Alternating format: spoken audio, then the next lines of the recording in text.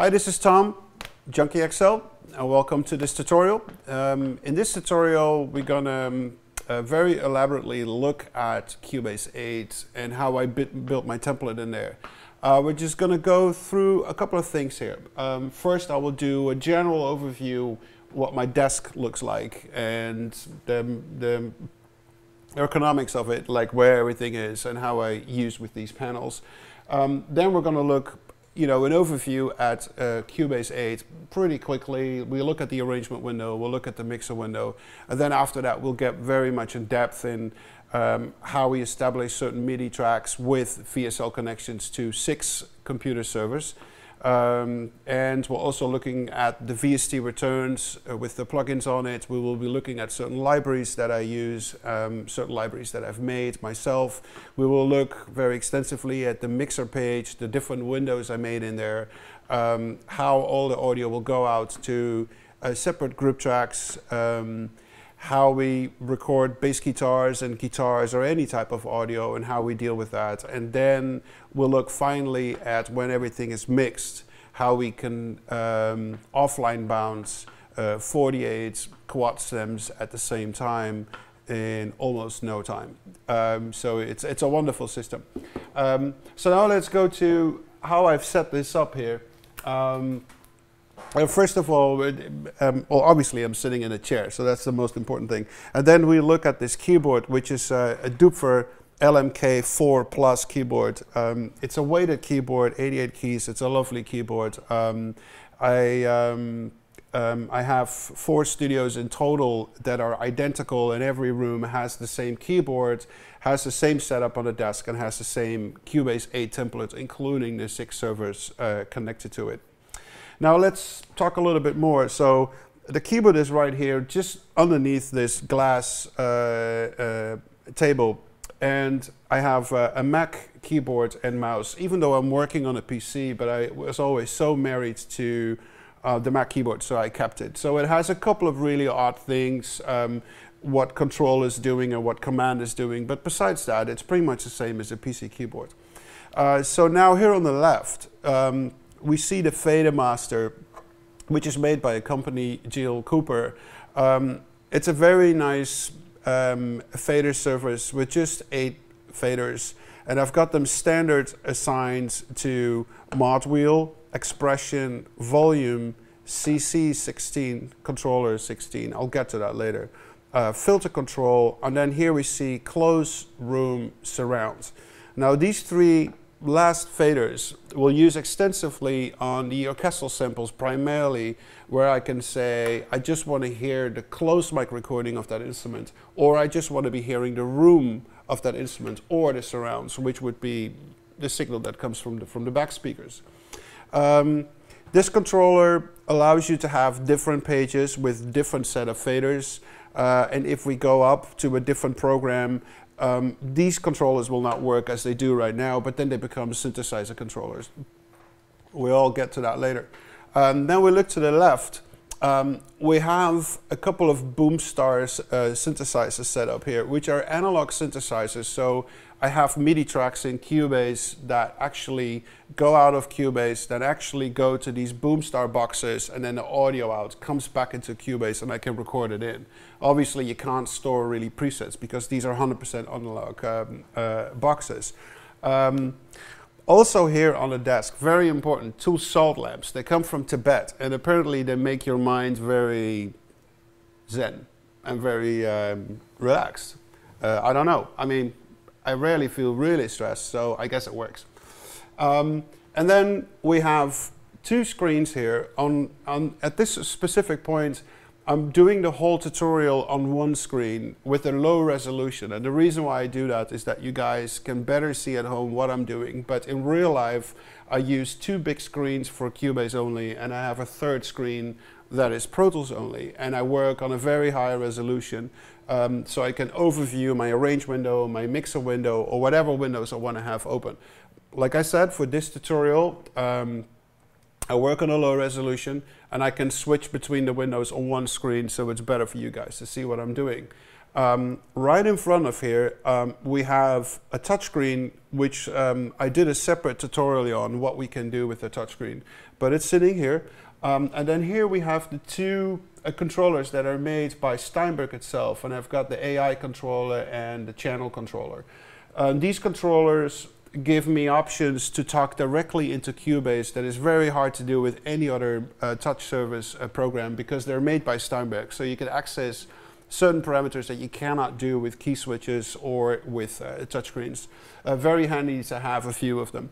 Uh, right next to it, we see a speaker controller. Uh, actually, we see two. Um, one of them, the right one, is controlling my surround speakers, which is um, a pair of M Audio speakers, and they really work well for that for that uh, purpose. I really like them. My front speakers um, and the sub and the center speaker is my favorite speaker set. It's the Dynaudio Air 25. Um, I've had them for um, roughly 10 years, and I've got uh, a fully surround setup um, in my other studios and some stereo setups too. Um, very, very lovely speaker. Um, and the, the, the, the, the volume controller of that um, sits right next to the uh, Cubase boxes. And then over here, almost underneath the screen, we see um, a USB hub that distributes some of the USB things that go on on this desk. And underneath that, a very small uh, PC computer that runs this touchscreen that we see over here and that we did a, a separate tutorial for.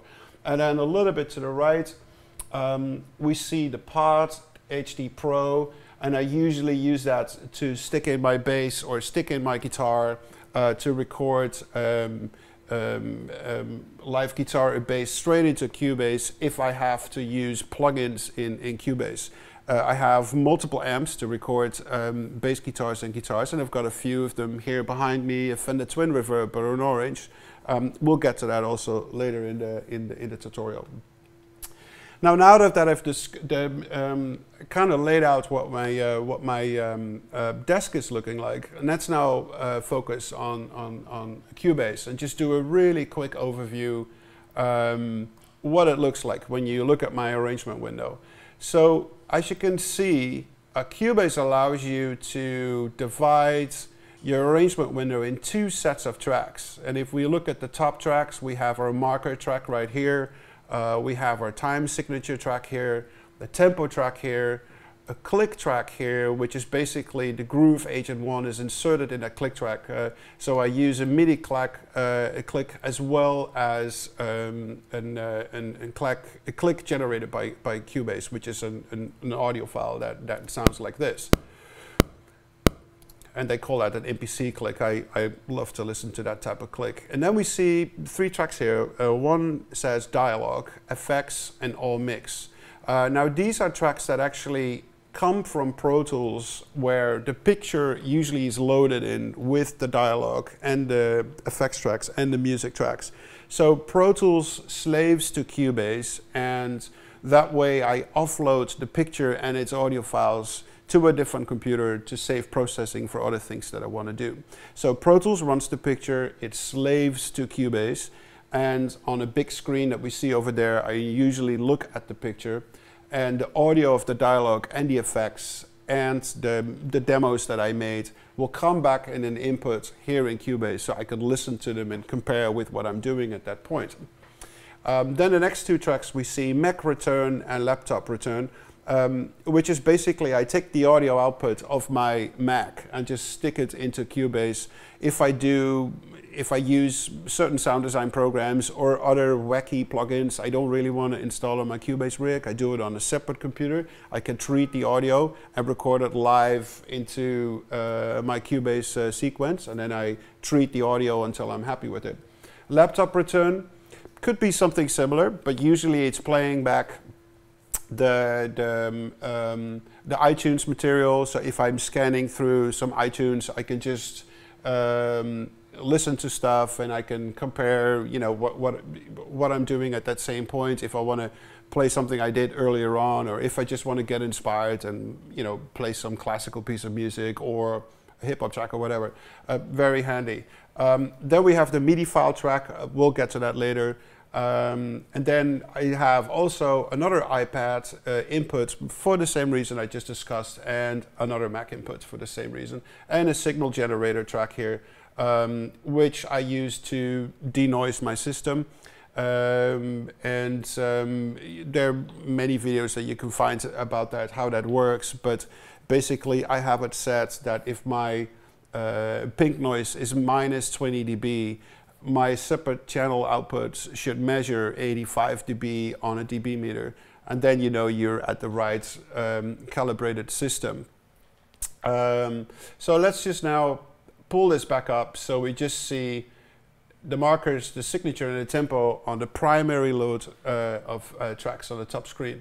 So if I were to close these folders that I see right here, you basically see a few basic folders um, which is JXL Instruments, which is JXL Scoring, which is VST Instruments, Group Tracks, FX Channels, and VCA Tracks.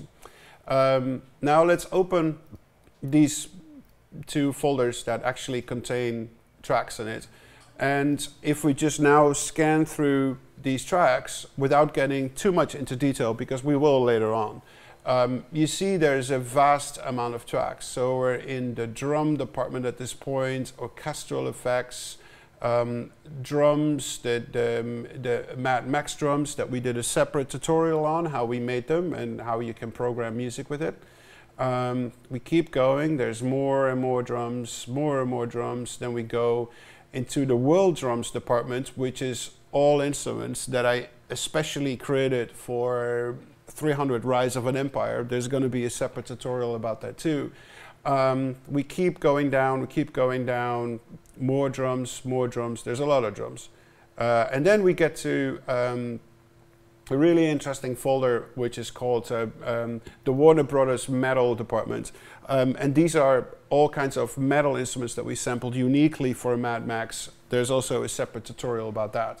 Um, we go down and then we get to some piano sounds and then we get to the external synths here, what I, what I talked about earlier when we talked about the desk. So we see here the Boomstar uh, audio return and we see here the Boomstar um, uh, MIDI track. So that's how I talk to these boxes and they record back in.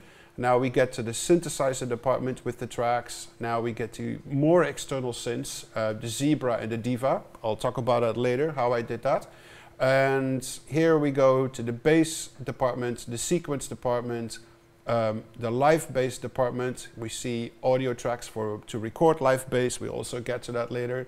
Then we get to the guitar department, um, more guitars, uh, also live acoustic guitars, live uh, electric guitars. We get to that later, how we record those.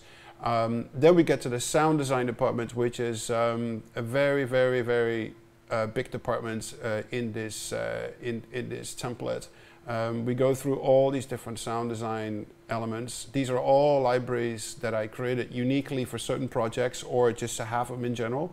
Um, this will be an important part at some point in this tutorial. So at this point, I'm just going to scan through them. You see it's an awful lot. We're talking hundreds of tracks here. Um, then we go to um, a folder that's called Meta. Meta means the program Metasynth. It's made by some French guys and it's absolutely fantastic program. I do a lot of sound design with it and all the results of those will end up on these audio tracks. So we just keep going. I'll get to that later also. Now we get to the scoring department, which has it, its own folder and I call it scoring because it contains all the acoustic um, uh, instruments in there that we know from an orchestra or, or soloist or so. Um, so here we're looking at some string ensembles and then we go to Spitfire solo strings, cinematic strings, then we go to East-West play strings, then we go to Berlin strings, then we go to a library from 8Dio that has the Bazantar, beautiful instrument. Uh, then we go to Cage uh, string effects, then we go to LASS, um, and then here we go to the woods department. So we have Spitfire Low Woods, beautiful uh, library. Um, BML, also Spitfire Winds, beautiful library. Uh, 8Dio Winds, also very beautiful. Uh, East West Woods, a very old library actually, 12 years old or so, but still very effective. Um, and then we get to the brass. So here we have the Cinebrass uh, library with some East West brass, more Cinebrass, some cage brass. And then at the very end, we have two choir libraries, uh, Venus and Mars, and the Requiem Choir. So that pretty much rounds up very roughly an overview on these MIDI tracks and instrument tracks, but we'll get back to this later.